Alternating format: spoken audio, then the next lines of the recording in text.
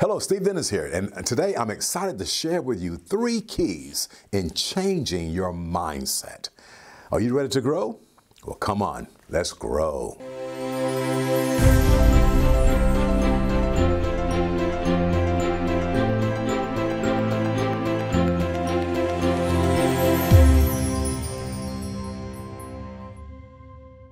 How to change your mindset. okay, years ago I did a class called You Can Change Your Mind.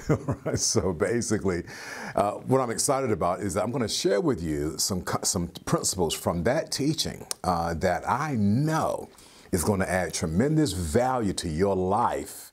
And you know what? And also to your leadership, your influence in the world. Okay? So, um, changing the mindset and, and literally, you know, finding ways to really shift the way I think. Uh, what an amazing, very, very important subject. And when I think about that subject in particular, I think about the fact that um, I know exactly what it's like to basically run my life or to, or to regulate my life or to even navigate my life from the standpoint of thinking in my mind that I am a complete failure. And one of the things I did to change my mindset, one of the things I did to shift my way of thinking. Now, hear this word again to shift my way of thinking. And how you can tell that you have shifted your way of thinking is because when you shift your way of thinking, it automatically creates a lift in your life. Come on now. so, let me make it rhyme. A shift will create a lift. okay. A lift meaning that what I do for a living now, for an example, I did not see myself doing this 25 years ago. Why? Because of the mindset, the thinking that I was operating from at that point in time. And so I'm going to give you today at least two out of the out of the six principles. I may give you three, okay? but I'll give you some principles on what I've done that has helped me to shift that mindset so that I could experience more of a lifting in life, okay? Are you ready to rock and roll with me? Well, let's go. All right, number one. And again, this is taken from a, a, a, class I've done called My Learning Attitude. And why is that important? Because you know as well as I do, my learning attitude and my learning mindset. Why is that important? Have you heard the statement before? Sometimes you win and sometimes you lose. I want to challenge you. Here we go, right, right off the bat, okay? Let's let's talk about changing the mindset. What if instead of thinking sometimes you win, sometimes you lose, what, what would happen if you and I could instantly, right now, shift over to sometimes you win, sometimes you learn? Wow, here's a question for you and I. What would you attempt to do if you knew you could not fail? Think about that for a minute before I go any further. What would you do if you knew deep down inside that you could not fail? Well, here's what I do know you would learn something. Okay, so here we go. Number one, that will help you and I to shift for a lift of our mindset. Number one, every day, make it up in your mind that every day I will learn something. This is how you do it again. This is how you make, this is how you create a change in your mindset is that every day you make up in your mind, I will learn something. As you're watching this video, here's a question for you. Already today, whatever day you're watching this video on, what have you learned lately? What have you learned today? What comes to your mind? Did you learn a new name of a, a, particular associate or a friend or a buddy?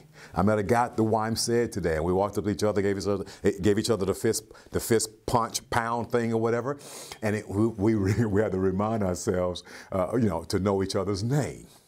He said to me, "Hey, Steve, right?" I said, "Yes, Charles. I remember you, buddy." Okay, my whole point. What did you learn today? What else did you learn today? Did you learn something about life? Did you learn something? Did you learn something about your job? Did you learn something about a particular hobby?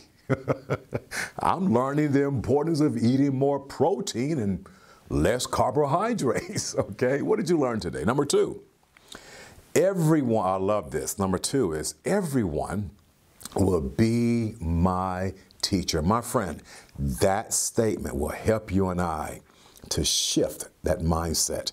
Everyone would be my teacher. The people in your life that you may consider to be good the people in your life that you may consider to be bad, the people in your life that you may consider to be indifferent, the good, the bad, and the ugly, okay?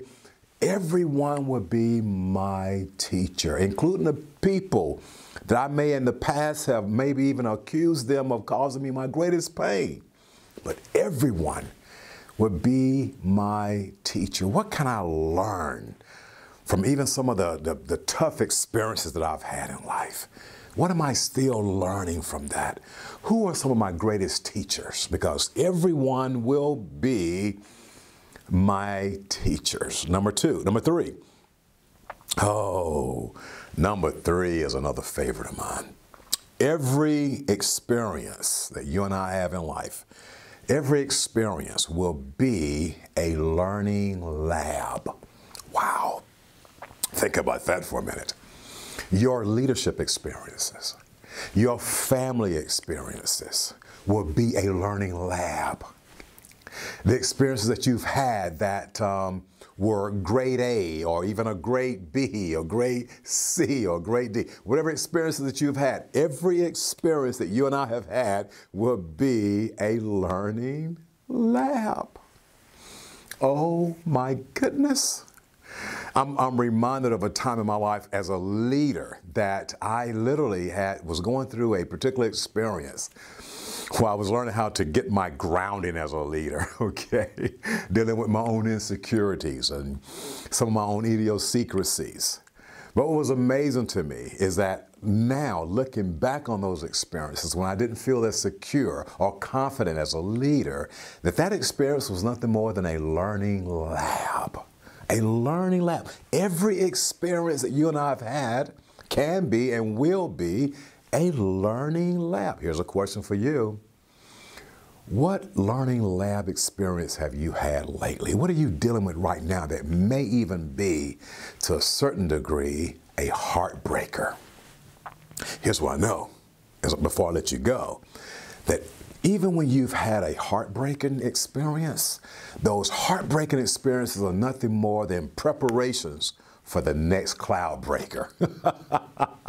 and again, my friend, shifting the mindset and changing your mindset on an ongoing basis. And the bottom line is simple this it's something that I want to challenge you that you and I will be doing for the rest of our lives. Okay? So, as I get ready to close, I've given you three. And I just love these three. And, and I have more to share with you later. But before I do that, let me remind you of something. That the uh, a bend in the road is not the end of the road unless you fail to make the turn. My friend, here's what I'm talking about. Good experiences, having these experiences that you and I have in life, okay? Good management of those experiences. Ah, example, what if, I've, what if you and I have had some bad experiences? The way you and I manage them, will always lead to great growth. So let me, let me give it to you in a, in a nutshell before I let you go. Good management of bad experiences will always lead to great growth and will always lead to a shifting in your mind. I've enjoyed myself today. I hope that you've gotten some value from this video. And remember, no matter where you are in life, you can change your mind. Thank you very much.